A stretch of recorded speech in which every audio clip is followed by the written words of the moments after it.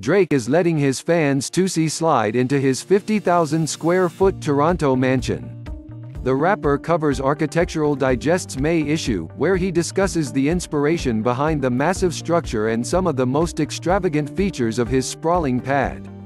The modern Art Deco house, designed by Ferris Rafauli, who referred to it as the Embassy, was a custom creation commissioned by Drake and built from the ground up with seemingly endless over-the-top amenities. Because I was building it in my hometown, I wanted the structure to stand firm for 100 years. I wanted it to have a monumental scale and feel, the 33-year-old musician told AD. It will be one of the things I leave behind, so it had to be timeless and strong. And strong it is, the mansion is constructed of limestone, bronze, and exotic woods, making it a proper 19th-century limestone mansion, according to Rafauli. This isn't stucco, paint, and fake gold. That's not what Drake wanted, and that's not what I do, he added.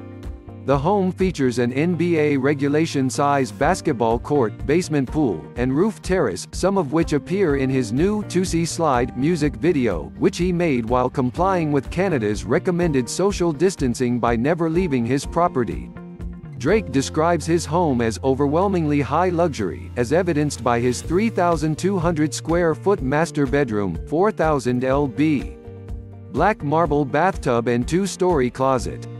The bed lets you float, the shower lets you escape and gather your thoughts, and the closet makes you want to talk to yourself while you're getting dressed, he said.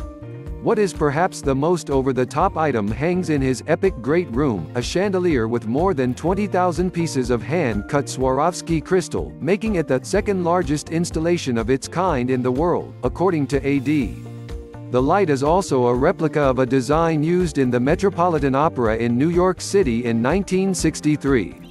The mansion also boasts a one-of-a-kind concert grand piano, an awards room, and a state-of-the-art recording studio.